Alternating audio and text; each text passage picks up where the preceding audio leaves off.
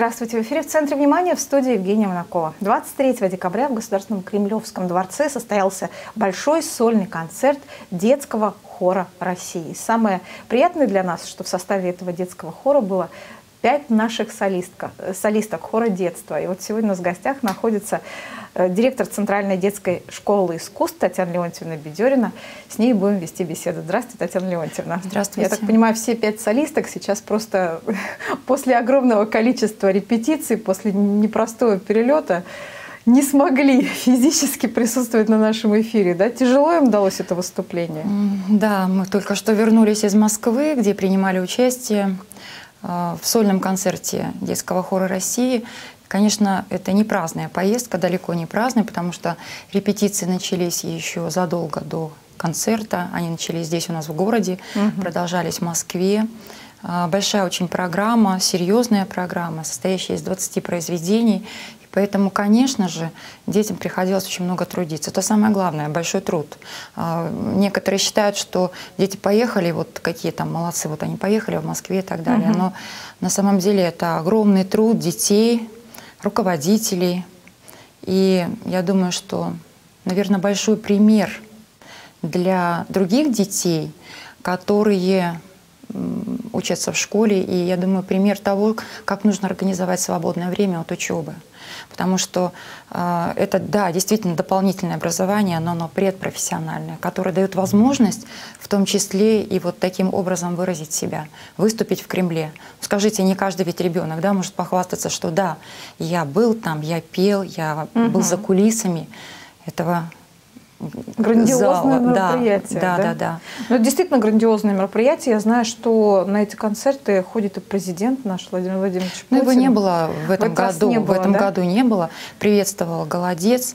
Угу. И э, было очень много э, неожиданностей даже на этом концерте, да? даже для участников, потому что, например, а, у нас были репетиции, репетиции, и а, на прогоне, буквально на прогоне концерта пришел Дмитрий Маликов, который пел одну, ну, солировал. Угу. А, а на самом концерте вдруг появилась Лариса Долина. Вот так. Да, и То есть никто в одном произведении она солировала. Должна была петь еще Дубцова, но на прогоне выяснилось, что, оказывается, оркестр играет не в той тональности в которой она поет. И она отказалась от участия.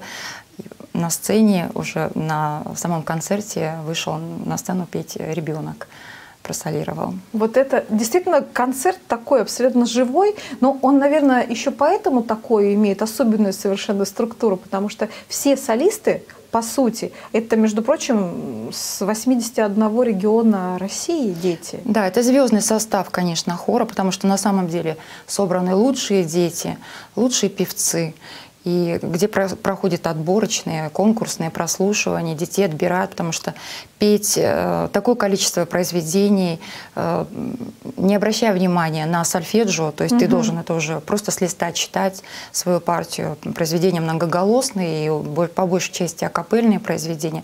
Да и пение с оркестром это тоже не очень просто, потому что одно дело, когда ты сидишь и поешь, у тебя вот концертмейстер, угу. совсем другое дело, когда играет оркестр, большой симфонический оркестр, руководитель Валерий Гергиев. И понятное дело, что это создает определенные сложности.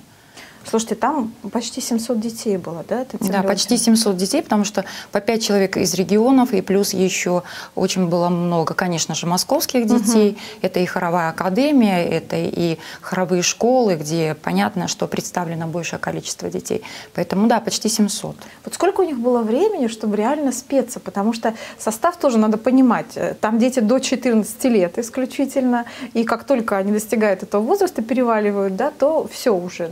на их смену приходят другие. Надо каждый раз, каждый год заново спиваться. Вот сколько у них времени? Ну, э, на самом деле это, конечно, очень сложно, с одной стороны. С другой стороны, там э, настолько все организовано и э, по времени повторюсь, наверное, что репетиции... Э, Со скольки до скольки? Мы вот в 7 утра вставали, у нас был небольшой завтрак, и половина восьмого мы уже выезжали на репетиции. Вот э, в нашей группе репетиции проходили в хоровой школе «Радость», угу. в других группах, в других учреждениях, потому что собрать такое количество, это надо было просто вот, ну, зал.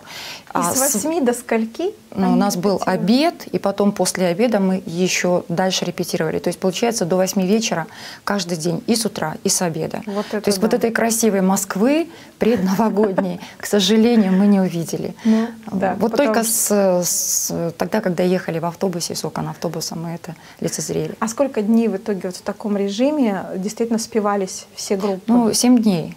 Семь дней? дней, вот 7 дней были репетиции. Непрерывных репетиций многочасовых.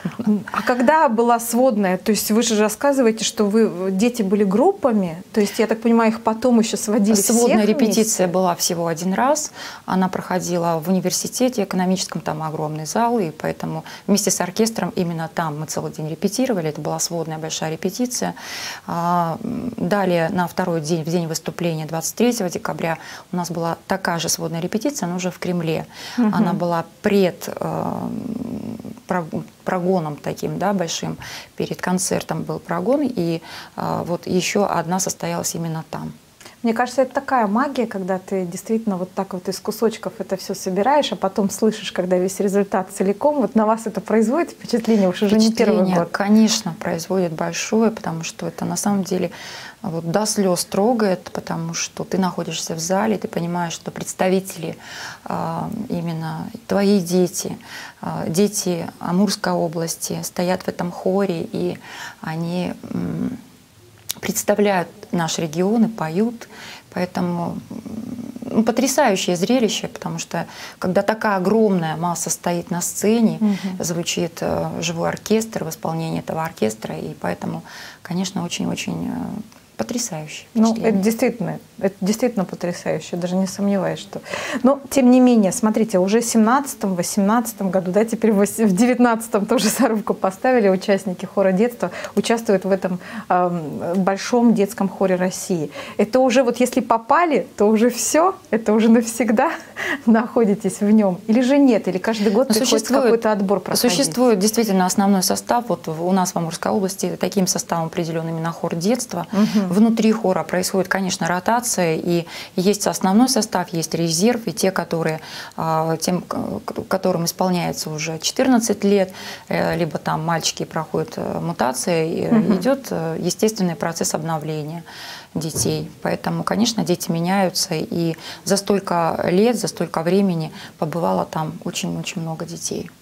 Ну, хор детства, тем не менее, это уже никак не отнять. Он вообще, в принципе, чемпион всероссийских хоровых игр, да? У вас мировых. Есть, мировых даже, мировых хоровых игр. У вас есть уже, мне кажется, всевозможные регалии, которые только можно было собрать. И таким количеством наград, ну, я понимаю, не каждый хор далеко может похвастаться, даже из тех, которые представляли своих детей в этом вот сводном хоре. Спасибо большое. Да, мы являемся чемпионами мировых хоровых игр. Я думаю, что, может быть, не все понимают, насколько это серьезная да. победа, насколько это а, большой труд, чтобы а, прийти к такой победе.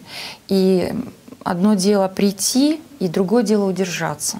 И вот для того, чтобы удержаться, нужно не просто участвовать в таких мировых состязаниях, но и получать высокую оценку жюри. И поэтому, если нам удастся участвовать дальше, а это финансовые большие вложения, если нам будут помогать и будет понимание того, что есть такой коллектив, которым действительно можно гордиться. И есть коллектив, который может представить нашу Амурскую область, город Благовещенск на мировых состязаниях.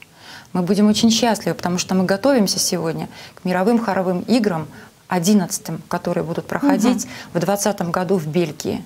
Это очень серьезная подготовка. Это не просто вот какие-то взяли песнюшки, да, выучили и поехали спели.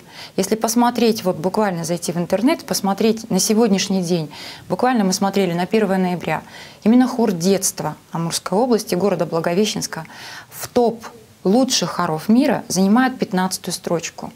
Чтобы добиться этого, нужно много трудиться. И очень жаль будет, если мы опустимся ниже, не потому что мы стали хуже, а потому что мы просто не будем иметь возможности поехать туда, поучаствовать и показать высокий результат. Сейчас вот встречаясь с руководителями, а, многие собираются, конечно же, и в Москве в том числе, и выезжают, и многим, большинство таких, таким коллективам помогают именно государство на уровне области, региона, города и так далее.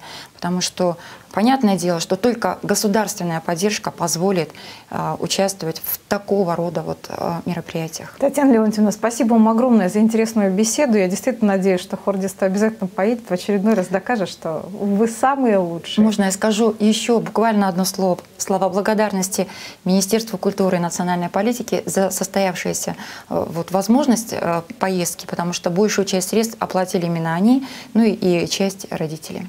Спасибо вам большое. Спасибо. Я напоминаю, что сегодня в гостях была Татьяна Бедерина, директор Центральной детской школы искусств. Вы смотрели в центре внимания. До встречи в эфире.